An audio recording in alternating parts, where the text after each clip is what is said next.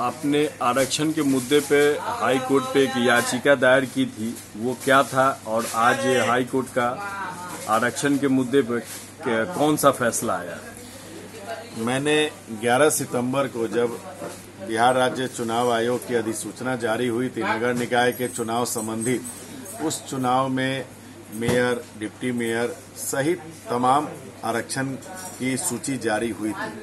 उस आरक्षण की सूची को देख के मैं काफ़ी आहत हुआ था और मैंने अपने पटना उच्च न्यायालय के जो वरीय अधिवक्ता हैं, मंगलम साहब, उनके माध्यम से मैंने याचिका दायर की थी। वो याचिका दायर ये की थी, जो सुप्रीम कोर्ट के एक निर्णय के आलोक पर आधारित याचिका थी कि पिछले 12 सालों से कोई जनगणना हुई नहीं और ट्रिपल टेस्ट लेयर का संधारण नहीं हुआ और आरक्षण आयोग समिति का गठन नहीं हुआ।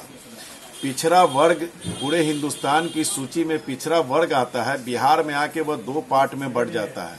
और आरक्षण का लाभ सिर्फ़ एक्सट्रीमली बैकवर्ड क्लास मतलब अति पिछड़ा को दिया जाता है। रेस्ट जो पिछड़े वर्ग के लोग हैं, उनको आरक्षण का कोई लाभ नहीं मिलता है। इन तमाम मुद्दों पर हमने अपने अधिवक्ता महोदय के थ्रू पटना उच्च न्यायालय में हमने एक याचिका दायर की थी, और उस याचिका पे लगातार बहस हुई। और इंसाफ की उम्मीद न्याय के मंदिर से होती है। आज पटना उच्च न्यायालय का जो निर्णय आया है, मैं स्वागत करता हूँ। ये तमाम लोगों की बिहार वासियों की जीत है।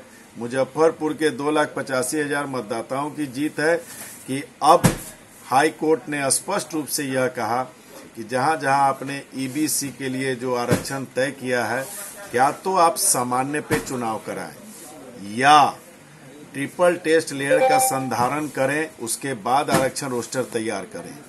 या आरक्षण आयोग समिति का गठन करें, उसके बाद आरक्षण रोस्टर को लागू करें, तब चुनाव कराएँ।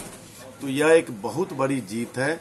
मैं समझता हूँ मतलब तमाम लोगों की जीत है, दिल के दुआओं की जीत है। मुजफ्फरपुर के दो लाख पचासी हज़ार मतदाता मालिकों की जो दिल की दुआ थी, उसकी जीत है। और मैं पटना उच्च न्यायालय को सादर प्रणाम करता हूँ, अपने अधिवक्ता को सादर प्रणाम करता हूँ कि इतनी बड़ी जीत यह हासिल हुई। हमसे जुड़े रहने के लिए हमारे YouTube चैनल को सब्सक्राइब करें और नई वीडियो की नोटिफिकेशन के लिए बेल आइकॉन को दबाएँ। अगर आप ये वीडियो Facebook पर देख रहे हैं तो लाइक ज़रूर करें और ज़्यादा से ज़्यादा शेयर करें। धन्यवाद। हमसे जुड़े रहने के लिए हमारे YouTube चैनल को सब्सक्राइब करें और नई वीडियो की नोटिफिकेशन के लिए बेल आइकॉन को दबाएँ। अगर आप ये वीडियो Facebook पर देख रहे हैं तो लाइक ज़रूर करें और ज़्यादा से ज़्यादा शेयर करें धन्यवाद